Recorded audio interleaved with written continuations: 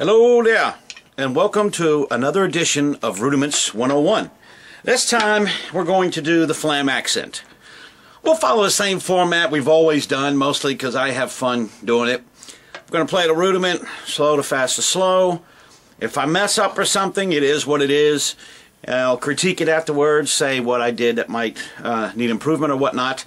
Then I'll generally do something fairly stupid. And after that, I'll give you some tips on how you can improve yours. All right? Your rudiments, meaning. All right, let's get this show on the road and see what happens here, okay?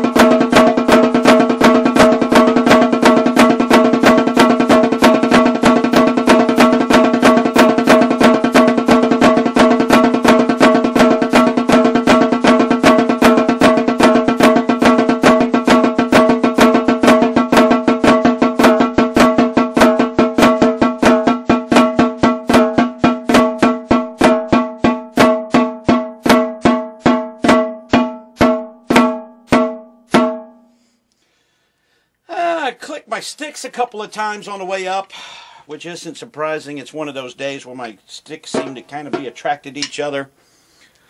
Uh, I believe I had an almost flat flam once, and I kind of detected something kind of maybe technically I need to shower up on or something like that, you know.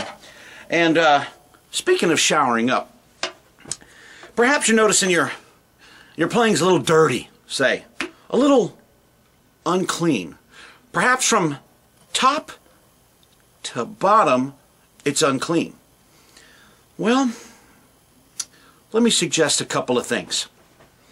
First, we have Bexy Bexidentencia. Ah, Mexican gum cleaner. Prescription only in Mexico. Really great for the mouth, guys. I can feel my gums tightening up right there. And to get a little more of that top part clean in your plan, nasal spray, saline. I mean, get it cleaned out, folks. We're going to get y'all playing like champs here. For the middle part, I suggest, ah, mmm, obsession. Go ahead and get the big size, because it's going to take a while before that, clean, uh, that cleans up. And you know what? Maybe obsession's not your style. This one's really sexy for the ladies, I like. For you girl plays girl players out there, oh my lord, Elizabeth Taylor.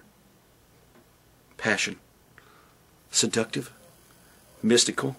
With just a hint of nighttime fun. This will have the middle of that playing doing really well. And folks, for the bottom end of your playing, nothing can top it like sodium phosphates.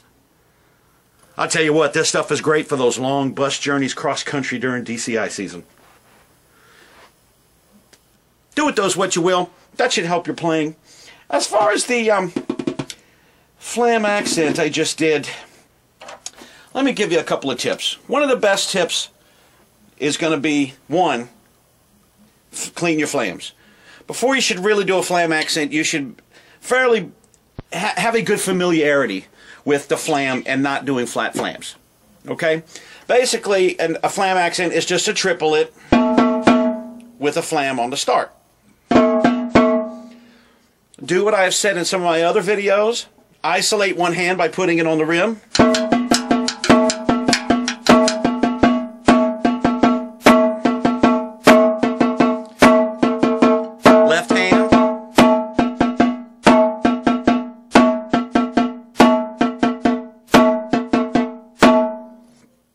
that is probably the best way to do it.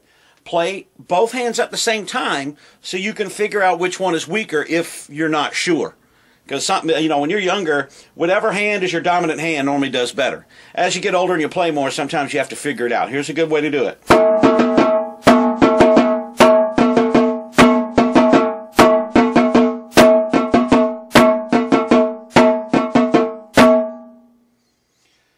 Eh, those should help you out pretty good to start with.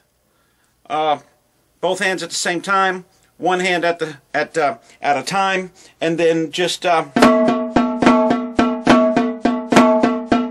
play them at an even tempo, possibly along with one of your favorite songs or whatever, whoever's on the radio, and just keep going.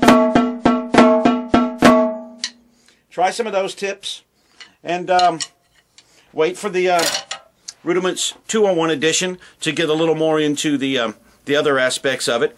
And uh, good luck with it. Don't get frustrated. It's gonna take time. It's gonna take practice. And remember, folks, it's just drums. Catch you later.